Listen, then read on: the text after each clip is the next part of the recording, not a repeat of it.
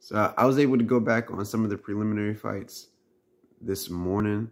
Um, yeah, and one of the one of the not surprising, but one of the the fights that was quite entertaining was the Anthony Herrera versus Jose Toribio.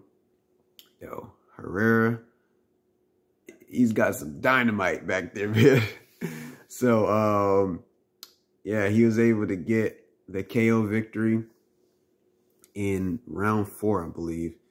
And yeah, great, great contest. Um, I was when you go back and you look at some of the stuff that he's he's done in his career, you could definitely see, okay, all right, that makes sense. But man, I, I didn't realize he had that type of dynamite like that.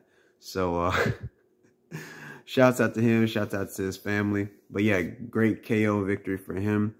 Um, so yeah, Anthony Herrera, round four KO. With that being said, peace, one love. We out of here.